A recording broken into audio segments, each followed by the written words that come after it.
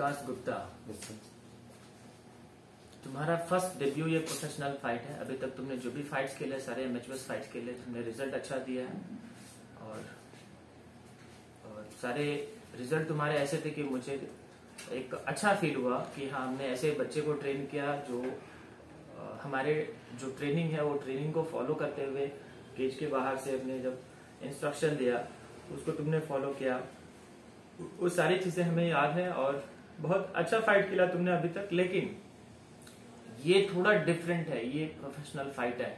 हर एक फाइटर का एक ड्रीम होता है कि हम एमेचुअर फाइट से लेकर के हम प्रोफेशनल लेवल पे हम जाए, क्योंकि प्रोफेशनल लेवल ही एक ऐसा लेवल है जहाँ पे फाइटर्स को एक अच्छा नेम फेम एंड सक्सेस देता है वो, जो ये प्लेटफॉर्म है, जहाँ से तुम अपने करियर को स्टार्ट करते हो।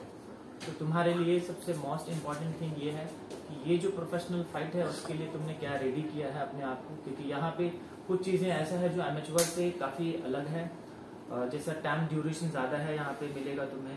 Second thing full contact attack है। ऐसा नहीं कि थोड़ा सा पंच मारा अपोनेंट थोड़ा सा अनकॉन्शियस हो गया, उसके बाद फिर आप रेफरी उसको बीन दे दिया। वैसा नहीं होएगा।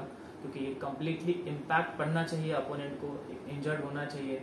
अपोनेंट सबमिशन करना चाहिए तब जा करके रिज़ल्ट देगा। एंड यहाँ पे एल्बोज एंड नी अलाउड है फुल कॉन्टैक्ट तुम अच्छे से यूज़ कर सकते हो और अच्छे से डिफेंस कर सकते हो अगर तुम अच्छे से अगर खेलते हो फाइट को तो। तो उसके लिए तुमने क्या प्रिपेयर किया है?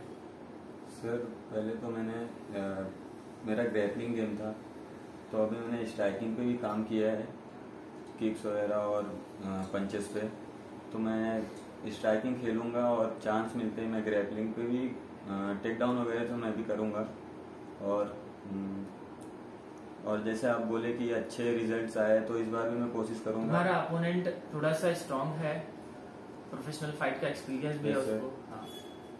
तो मैं काफ़ी अवेयर रहने की ज़रूरत है। अभी स्ट्रेंथ अगर मुझे लगता है कि तुम्हें स्ट्रेंथ कम होगा तुम्हारे पास क्योंकि तुम्हारा एक एज भी एटीन के आसपास है सेकेंड थिंग लास्ट टाइम से तुम्हारा जो स्ट्रेंथ है ना वो कम हुआ है। हम तुमको डे वन से फोकस कर रहे थे कि विकास अपना वेट इंक्रीज करो इंक्रीज करो।